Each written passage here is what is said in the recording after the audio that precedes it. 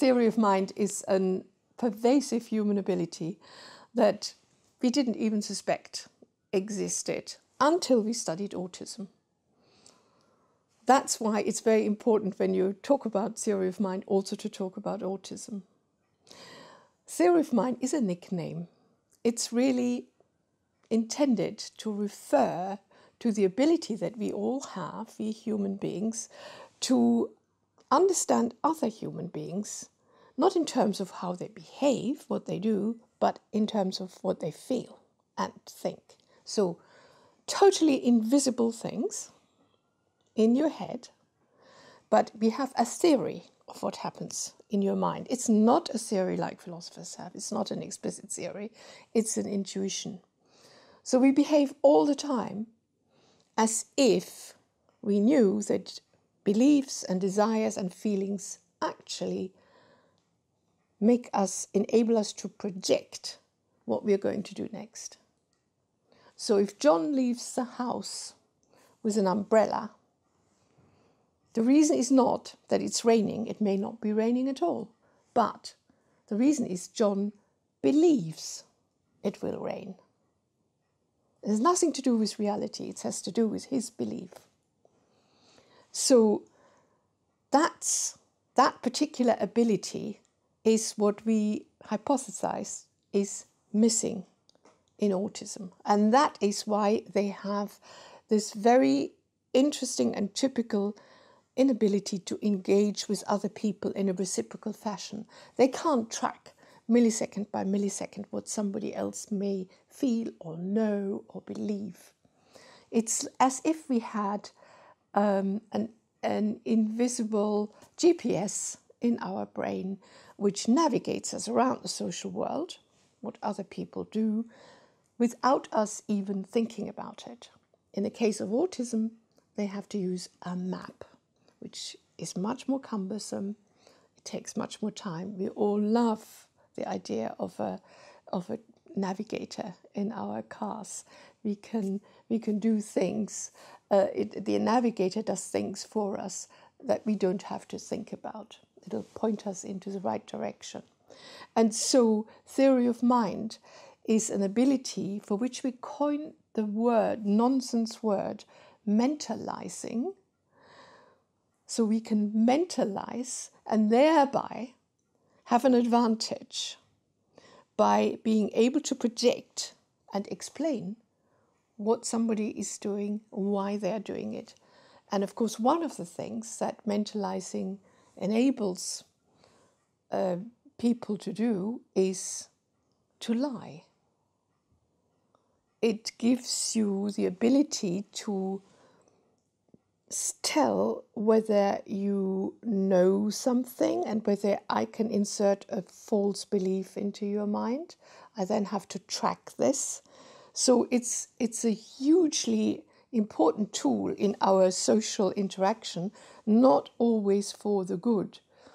One of the things that has been said about autistic people is that they don't lie. And they don't, in fact, understand why ordinary people they lie all the time. We even lie when we don't need to. For example, just to be nice to somebody, um, to to be very flattering. All of our politeness rules have to do with the kind of unconscious mentalizing program which says we don't want to offend them. It, it, is, it is clear that we, we are taking feedback all the time and we will see whether we have gone, gone wrong in, in what we are doing and, and thinking about them. So, given that this is such a fanciful idea, which you know, many people would say, wow, this is ridiculous. How, how can you uh, postulate that that is an ability, like the ability to, I don't know, hear or to see colors? Well, I think it is just like that. It's just like an ability to see colors, an ability to see the invisible mental states of others. And therefore, it has a basis in the brain. And we could show this using um, neuroimaging methods. We could make people do tasks which demand that you think of mental states and contrast them with tasks that are exactly the same in every possible way, but you don't have to invoke mental states. These are, for example, movements of objects like cause and effect, while when we are thinking about intentions and beliefs, they can also be expressed in movements, but you will interpret the movement completely differently, intentionally and deliberately, not just as a physical cause and effect. And we can compare when people watch little films, when they read stories, all sorts of uh, different methods have been used.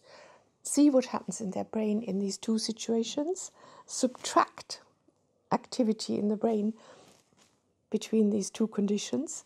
And what we can see is a particular network of regions, and that's a robust network. Um, frontal regions, temporal regions, and they are um, very, very well connected in the normal case and not so well connected in the case of autism. So there is a biological basis for theory of mind. So thinking about mentalizing and theory of mind has really changed the way we look at the development of the human mind and the evolution of the human mind. So, one question that you need to ask immediately is where does this come from in evolution? Is it really human specific? And this is where the future uh, work will be. And already there are studies that show that other animals have some beginnings of this very same ability. A very uh, interesting study has been carried out with birds, with very clever birds, the corvid family, who hide food.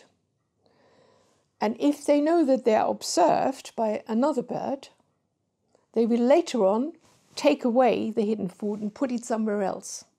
This is theory of mind. Now, it is very reasonable to suppose that maybe this also happens in other species, and it'd be very interesting to see that. But this is a kind of theory of mind that is totally without language. We believe that human beings have possibly two forms of theory of mind the very, very automatic one, and another one which has a lot to do with language and which can be used in order to reflect on our own mind. So that's another way that the future study will have to go, We'll have to see why is it so special for human beings that they can consciously reflect on what they think and intend and feel. So there is a lot to be done still in, in research on theory of mind. We need to know whether there is an implicit automatic form, whether we share that with other animals, and whether there is an explicit conscious form of theory of mind. Perhaps there are even other forms that have not even been uh, discovered yet. We need to know whether in uh, ordinary child development, uh, the um, explicit theory of mind builds on the other automatic implicit theory of mind or whether it is completely independent. At this moment, these are all open questions. Sometimes people mistake um, theory of mind and mentalizing for empathy. It sounds like, yeah, sort of related. And yet, we have found through the study of autism, through the methods of brain imaging, that these are quite separate things. So, even though mentalizing means taking feelings into account or tracking changes in feelings, empathy is quite a different sort of ability. And empathy rests on a different brain system, a brain system that has to do with something like contagion. So, what you feel, I feel too. Uh, if you laugh, I will laugh slightly. I might not show it, but we have shown through um, uh, using very, very small um, uh, devices on the face that the muscles that are to do with laughing will be activated, will be ready to laugh when another person laughs. So, this is a kind of automatic mechanism that we can say is a primary form of empathy, so that we do indeed feel the other's pain, we also feel the other's joy. But that is something quite separate. And the fascinating thing is that in autism, this is actually very often intact and present.